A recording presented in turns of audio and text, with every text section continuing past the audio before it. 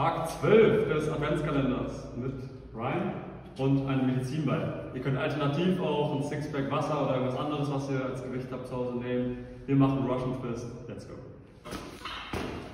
Let's go. Russian Twist.